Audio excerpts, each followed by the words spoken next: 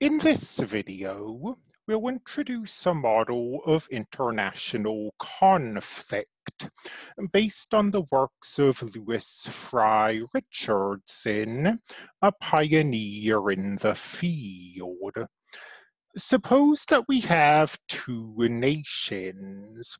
These nations are antagonistic, but not in a state of war with one another. We're going to try to decide whether the nations will go to war. We should say from the outset that neither Richardson nor I believe in any sort of mathematical determinism when it comes to human affairs nations that this model calls on to go to war can make the decision not to. However, it makes sense to use a mechanical mathematical model to investigate the build up to war because quoting Richardson, nations follow their traditions, which are fixtures, and their instincts, which are mechanical. And because they have not yet made a sufficiently strenuous intellectual and moral effort to control the situation.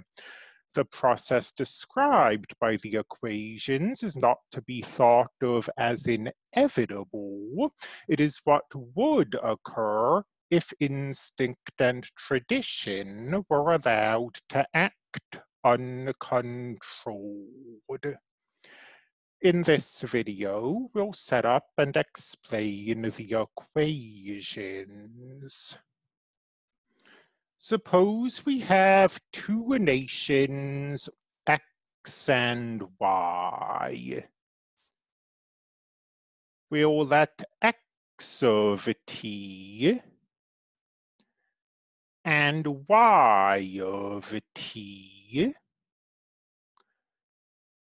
be the war potential of these nations. For simplicity, let's call this the amount of money they spend on their military. The nations are in a state of conflict which has not escalated to actual warfare. Let's build dx dt. There will be a ky term.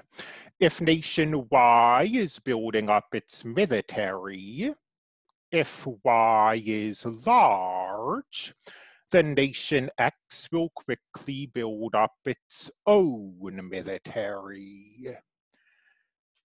There will be a limiting term, negative alpha X.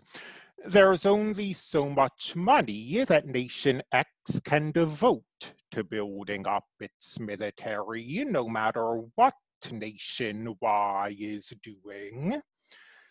So if nation X's military spending is already large, it will grow slowly.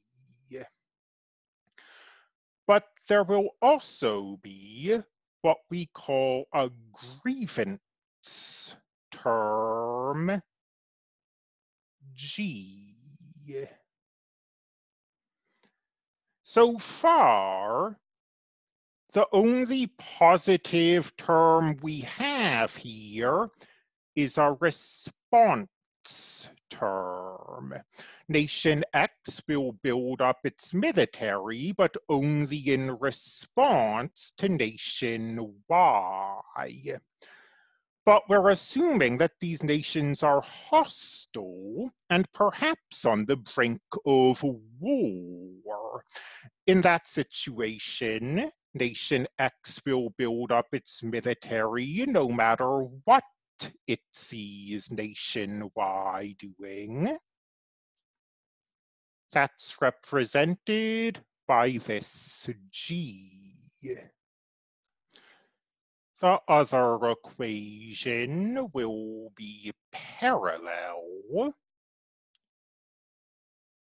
dy dt equals L x minus beta y plus h.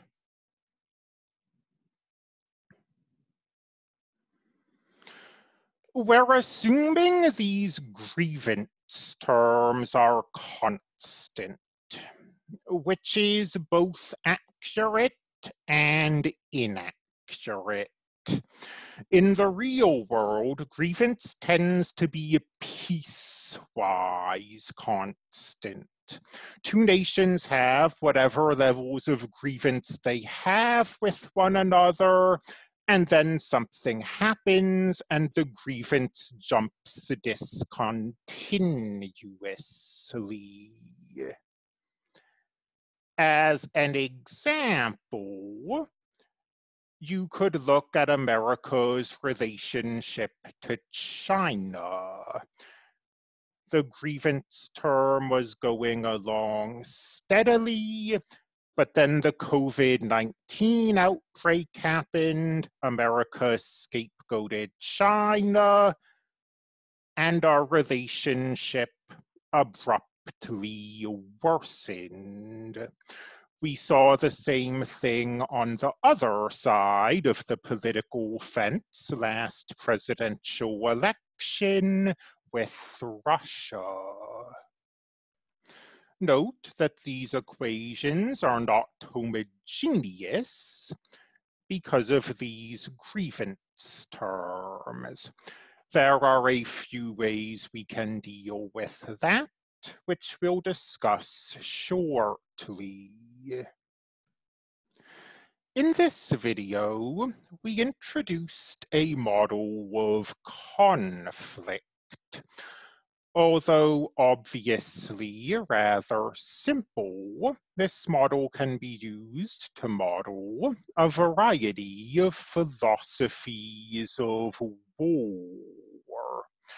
So over 2,000 years ago, Thucydides claimed that the Peloponnesian War was caused by the growth of armaments.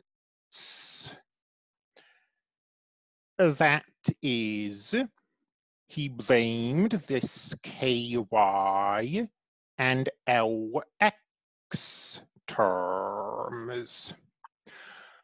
About a hundred years later, Sir Edward Grey, the British Foreign Secretary during World War I, said the same thing. He claimed the arms race encoded in those terms caused the war. On the other hand, L. S. Amery of the British Parliament disagreed. He claimed that World War I happened because of a conflict of ambition and ideals. That is, he blamed the grievance terms G and H and described these terms, which Grey blamed the war on, as being merely symptoms. The power of this model is that we can use it no matter who is correct. If you think the grievance terms are important and the growth of armaments isn't, make the grievance terms large and the armament terms small. If you think the growth of armaments are the deciding factor, you can make the grievance terms small or even zero.